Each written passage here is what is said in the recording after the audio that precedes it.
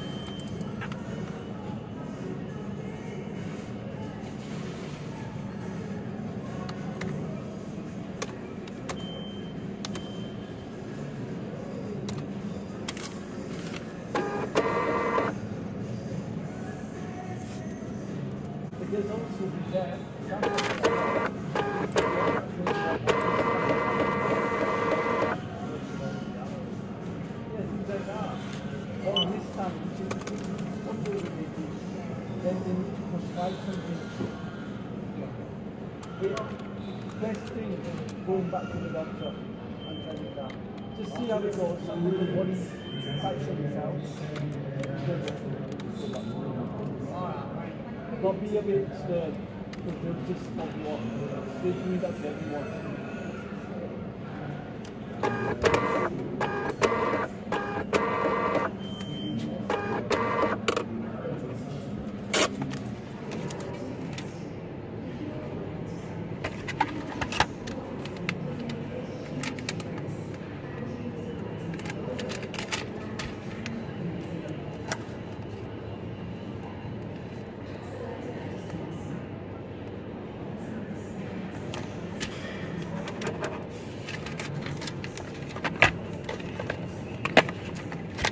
So I'm done. I'm gonna go pick up some things for my mother and then head home.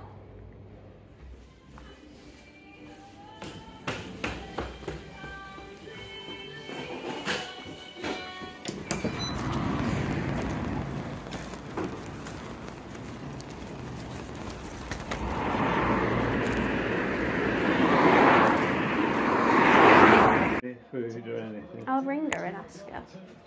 Just ask her she wants. Have to try and get it out tomorrow. Oh, I'll manage to get it out Go walk tomorrow. They're going home. And wiped her eyes anyway. We're going home. My legs are tingling. What? My legs are tingling. And they go. Probably. Legs. So what are you doing tomorrow? Manina.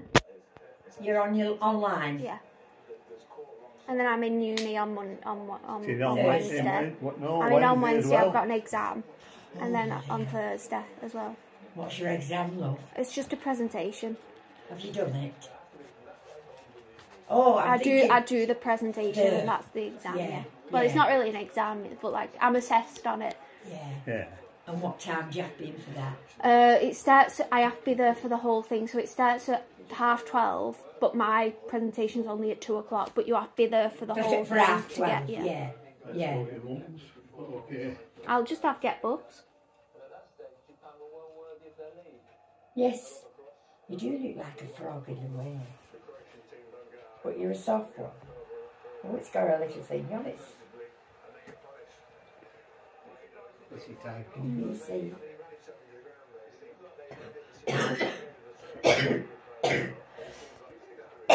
Have you put um, Galaxy in? Hello. by a lot. You know, here's the chancellor is behind everything, including I'm not very great threat.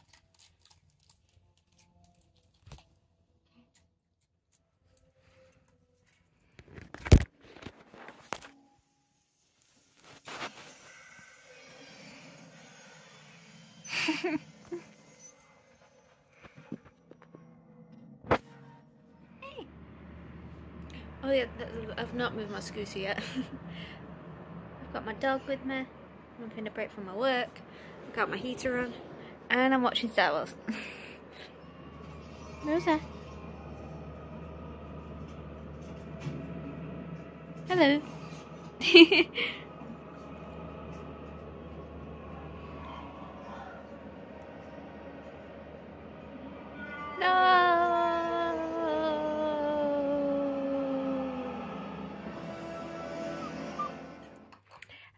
So I'm going to give you a quick little haul video. Um, I did. I have filmed a birthday haul video for my 21st, but I've not uploaded it yet. I've not even edited it yet. But um, as you've probably seen, I've been to work today, and my best friend at work gave me some gifts. So hello. I will show you them right now.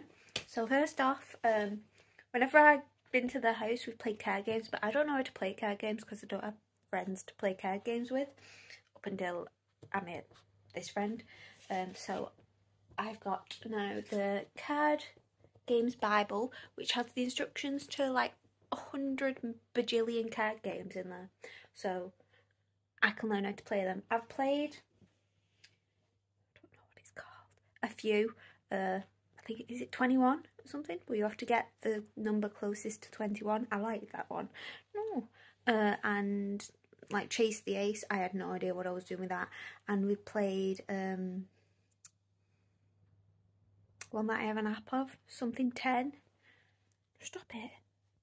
Uh yeah. So I can learn card games and to learn them she got me some Star Wars cards which are very cool. They've got like memes on which I find very funny. and then the final one which is amazing. Never mind. She's just chewing a bottle. Um, hi Mel. Um, so it is a little plush hippo from the BBC Earth documentary and it's dead cute. And he's actually made from recycled plastic bottles. She's just making. She's just being loud. She's just being so loud when I'm trying to film. Also, yes, she did drag some of my paperwork earlier, and I've just let her have it because I don't need it. It's just the title. Okay, you you do that. You you do you. Yeah, he's very cute. Christened him Moto Moto from um Madagascar because he that's really so just cute. At least I've got such a big double chin.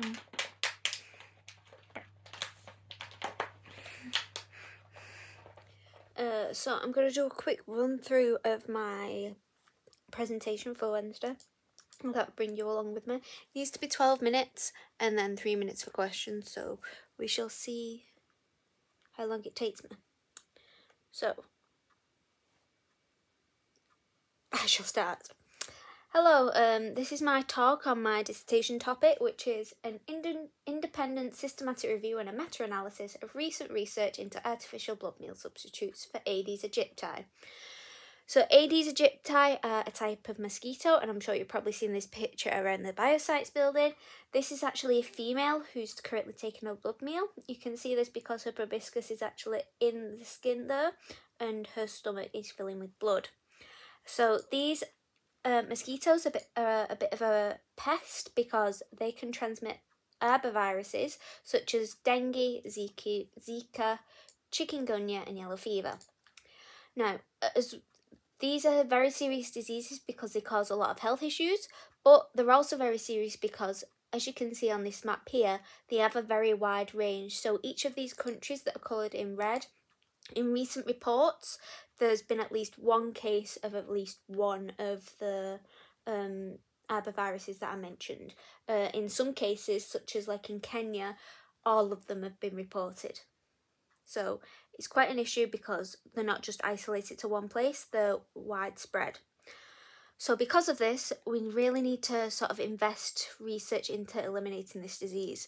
And there are three main ways that we do this. One of them is research into how to treat the diseases so that they don't cause as much health issues.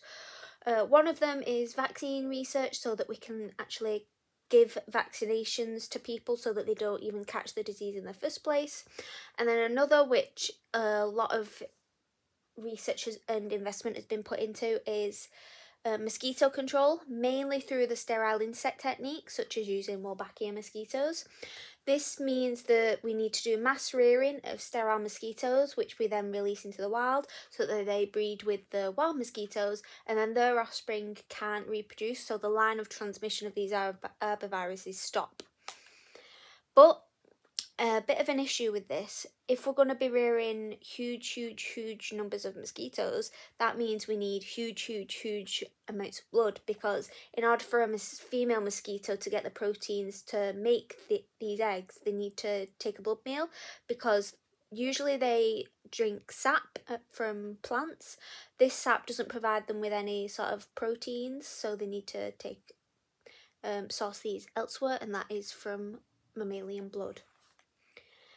Um, as you can imagine, if we're going to be rear- using blood to rear mosquitoes, this brings about quite a few issues. Um, for example, there's the ethical issues that come with using blood. How can we prior- prioritize rearing mosquitoes over someone who desperately needs a blood transfusion? And obviously, if we're going to be using animal blood as well, is the argument of are we just rearing animals for the sake of slaughtering them for the blood? Um, there's also issues of how we can maintain the quality of blood to rear mosquitoes because um, blood can degrade quite quickly. It usually only has a shelf life of about two weeks and it needs very specific storage conditions.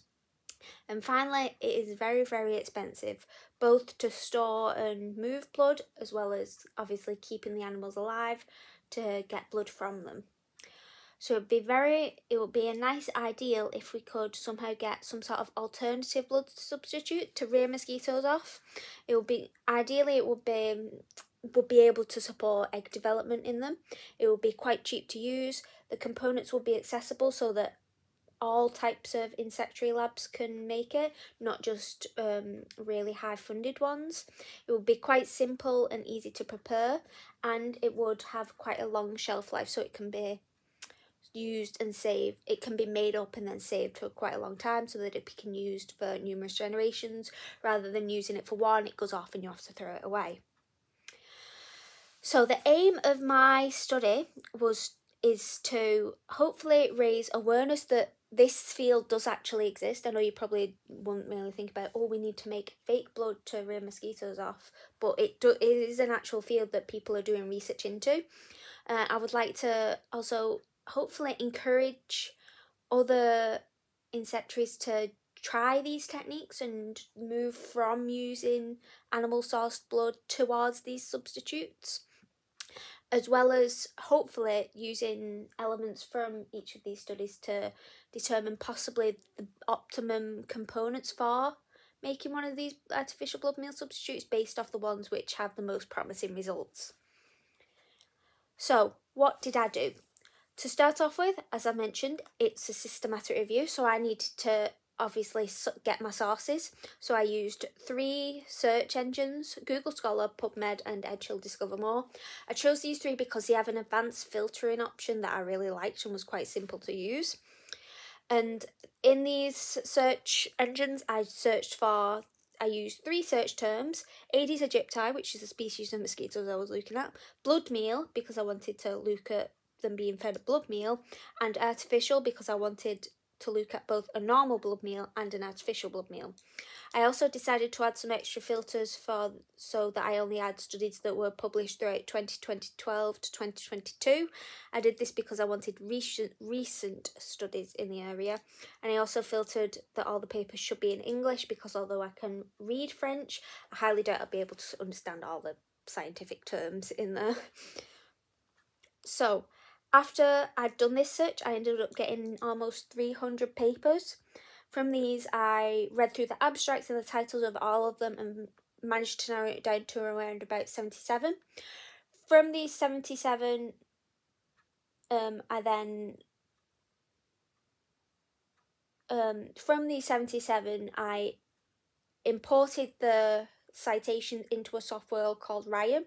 I then ran a duplicate de- detection software and I ended up deleting all the duplicates that were within it and I ended up with 53 studies. In these 53 studies I got the whole text, I read through the whole text and narrowed them down that way. So I went I created an exclusion criteria as to why or why not I would include these studies such as it actually didn't involve Aedes aegypti. For example, some titles just had Aedes and I wasn't sure and it didn't mention in the abstracts if it what type of species it was and it ended up when I was reading through it was Aedes albopictus instead of Aedes aegypti things sort of like that. Um, after doing that I ended up having six studies. From these six studies I then started looking at the data. So for three of them it was perfect. All the raw data is available. There's even in-text data that I can use. For the other three there was no supplementary material or raw data and the in-text data was mainly graphical. So like it was bar charts of the means with the standard deviations on and i couldn't really extrapolate the, the means and the standard deviations and the total egg numbers from them.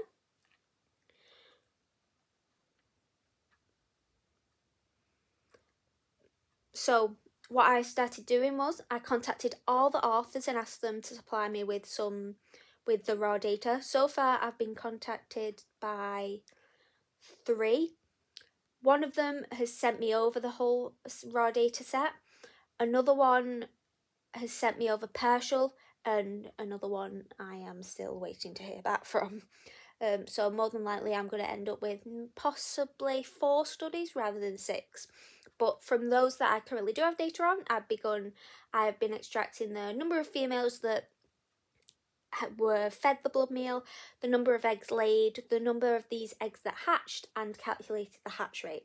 I've also extracted some additional information just to ensure that the studies that I'm using are fair to compare. So, for example, uh, I've uh, looked at the conditions of these studies. So, the rearing conditions used in these studies. So, for example, uh, if one study used standard rearing conditions of 27, cent- 27 degrees Celsius and another one's using 50 degrees Celsius, it isn't fair to compare that 50 them two together because obviously the different temperatures are going to be definitely affecting the hatching and the egg laying rate wait rate there. So I would exclude the one that is around about 50 degrees um, I also just wanted to include this slide to show, sort of give you an example of the data that I'm working with at the moment. So this is one study, I think it's Tile et al. And it is just the data on the number of eggs. So from all this data, I then I need to calculate average um, number of eggs laid. Uh, and, I'll, and then I'll also be doing this with the data for the hatch rate and then I'll be doing repeating this again for the, each of the studies. After doing this, I will then input all the data into I will then input all the data into something called RevMan. Um, from RevMan, I can do a lot of analyses, so I'll be doing a risk of bias assessment. Um, I will also be creating a forest plot, which you can see here. So basically what I'll be hoping to determine from this forest plot is the ideal blood substitute. Um, that blood substitute will have the square box here, which represents the weighting of the study. So the larger the square, the higher the weighting of the study. Ideally, it will be directly in the middle of this line here because that line represents if it crosses that line, it means that there is no significant difference between the two variables. In my case, the two variables will be having had a blood meal and having had the artificial blood meal substitute because I don't want there to be any difference between these two. I want them to have the exact same life history as the ones which have had blood. Otherwise, there could be issues further down the line. Um, from this, the ones which are most central, I'll try and extract which features may be contributing to that and combine them together to suggest an optimum substitute. Um, also, hopefully, if the results tend to all cross over this line. It'll sug- hopefully encourage other people other researchers to use these types of blood substitutes because they can see quite clearly th- th- there's no significant difference in the life history of these mosquitoes that they're rearing without using unethical blood and encourage them to possibly try out using these substitutes and hopefully make mosquito research a bit more ethical. So, I would like to thank Claire Strode, who's been my supervisor for all this, and also the corresponding authors who I've managed to reach out to on contact. If you'd like to contact them yourself and maybe get some more information in this research area, I'd be happy to supply their emails for you. And I'd like to thank you for listening. And does anyone have any questions? yes! 12 minutes. I did a bit of stuttering, but it was okay. Goat yoga. what are you doing? Do, do, do.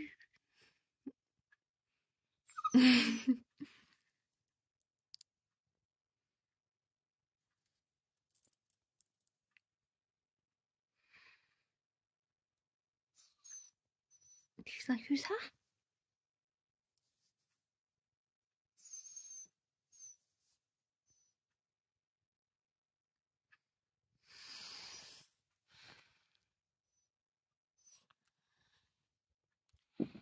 Okay, see ya.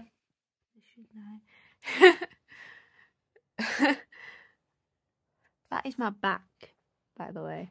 Like I'm currently like turtle on the floor, and she sat there. Well, I am doing work typed in typing in this position, but like now I'm like stuck. Do you mind? I I can still grab my iPad, I suppose, and do.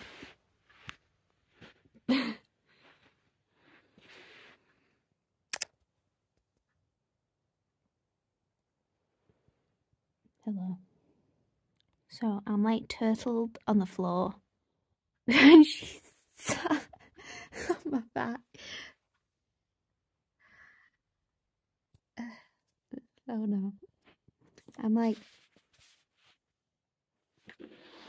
What do I do? What do I do? Should I try and just lie down?